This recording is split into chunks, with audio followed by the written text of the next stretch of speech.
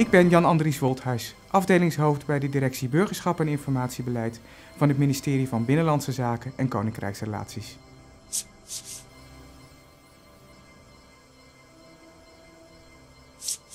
Maar al te vaak ervaren burgers hinder en gedoe in hun contact met de overheid.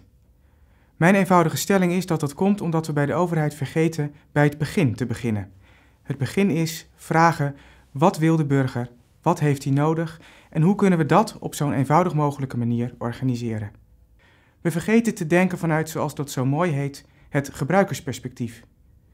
Verminderen van regeldruk begint bij denken vanuit de gebruiker. De komende minuten zal ik vertellen wat dat volgens mij betekent, waarom het ook moeilijk is en hoe je daar in de praktijk concreet vorm aan kunt geven. Keer op keer beschrijft de Nationale Ombudsman in zijn rapporten dat de overheid gevangen zit in haar eigen systeemwereld en daardoor niet goed weet aan te sluiten bij de leefwereld van mensen. Daar zijn schrijnende voorbeelden van in het domein van de bijstand, maar ook van de schuldhulpverlening. Mensen die schulden hebben en aan de ene kant door de overheid geholpen worden om die schulden langzaam maar zeker te laten weggaan.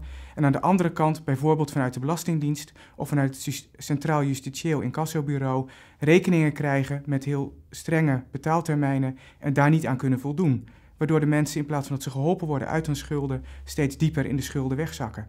Op die manier werken we binnen de overheid niet samen en zitten we vast in ons eigen systeem. Met wetten, met uitvoeringsregels, met procedures, formulieren en correspondentie die juridisch weliswaar allemaal kloppen, maar die niet aansluiten bij de situatie waarin mensen zelf zich bevinden.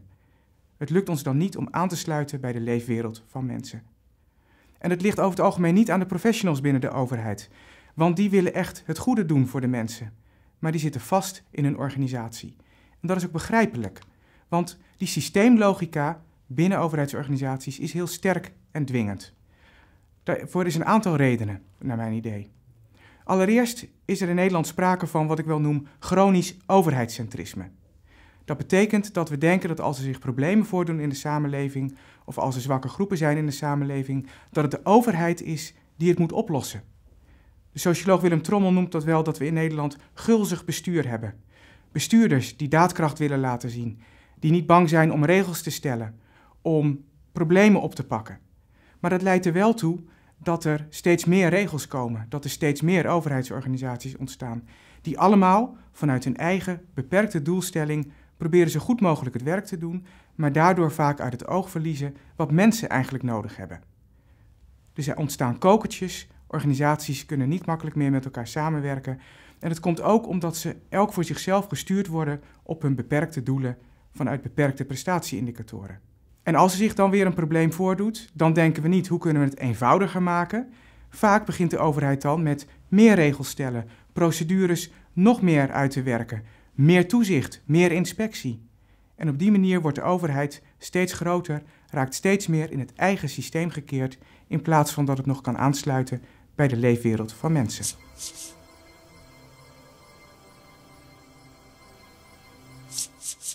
Aansluiten bij de leefwereld betekent anders gezegd, maatwerk bieden.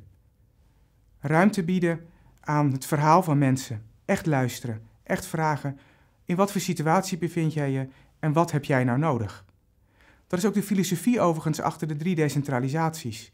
Dat gemeenten, bijvoorbeeld in keukentafelgesprekken, met mensen gaan zoeken: wat heb jij nodig? Wat is jouw situatie? Hoe zit het in jouw omgeving? En hoe kunnen wij ervoor zorgen dat jij krijgt wat je nodig hebt in je leven? Dat vraagt een heel andere manier van denken dan vanuit de verkokering die ik net schetste. Dat vraagt integrale dienstverlening. Dat we als één overheid opereren. Dat er niet een verkeerde deur is waar mensen kunnen aankloppen. Dat we niet zeggen: sorry, u bent hier bij het verkeerde loket. Maar dat we altijd mensen doorverwijzen en ervoor zorgen dat ze diegene te spreken krijgen die ook echt iets kunnen doen, die echt iets kunnen betekenen voor de vragen waar de mensen mee komen. Dat lukt alleen wanneer we de processen inrichten vanuit het gebruikersperspectief. En dat is ingewikkeld overigens. Dat levert moeilijke opgaven op voor de overheid. Om te beginnen moet de overheid anders informatie gaan verstrekken aan burgers. Nu zijn we nog vaak geneigd om die informatie via de logica van afzonderlijke wetten en afzonderlijke regels te, uh, te vertellen. In plaats van dat we bijvoorbeeld proberen te denken vanuit gebeurtenissen in levens van mensen, live events. Je gaat heel anders informatie verstrekken op het moment dat je aan mensen vertelt welke regels gelden er eigenlijk allemaal, of waar moet je allemaal rekening mee houden bij geboorte, als je gaat trouwen, als er iemand overlijdt, als je gaat studeren. Dus niet vanuit afzonderlijke regels, maar vanuit dit soort gebeurtenissen communiceren. Vanuit doelgroepen denken in plaats van algemene informatie verstrekken. En doe dat dan ook in de taal die mensen kunnen begrijpen. Met formulieren mensen, waarvoor voor mensen helder is, wat moet ik hier eigenlijk invullen en waarom? Het vraagt bijvoorbeeld ook iets voor de manier waarop we websites inrichten.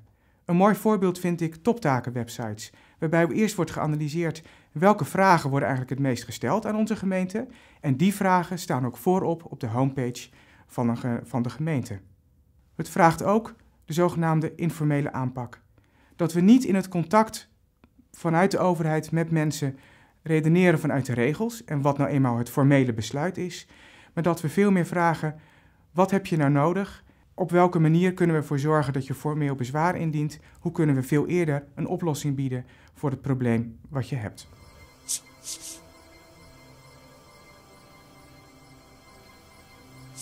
Waar begint het mee?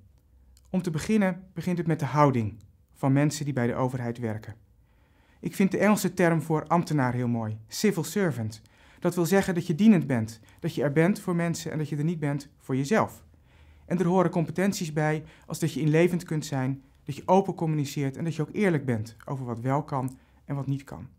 Het vraagt ook een overheid die open is, die zijn processen openstelt voor mensen, zodat mensen kunnen meedoen, zodat mensen bijvoorbeeld ook wanneer je dienstverleningsprocessen gaat ontwerpen, aan de tekentafel worden uitgenodigd, dat je niet alles zelf verzint, maar dat mensen kunnen meepraten over wat is nou handig? Hoe, wat verwacht ik nou eigenlijk als klant?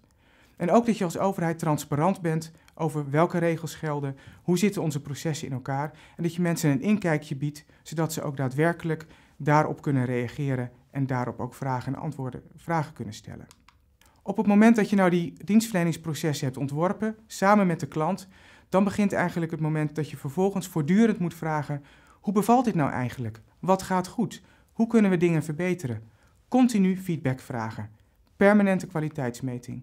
Een mooi instrument daarvoor is de zogenaamde Net Promoter Score, waarbij je met drie of vier vragen heel direct feedback krijgt van de gebruikers hoe mensen de dienstverlening hebben ervaren en waar het makkelijker of beter kan.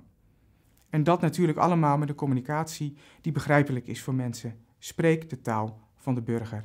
En gebruik niet allemaal juridische termen waarvan mensen niet begrijpen wat er eigenlijk mee wordt bedoeld.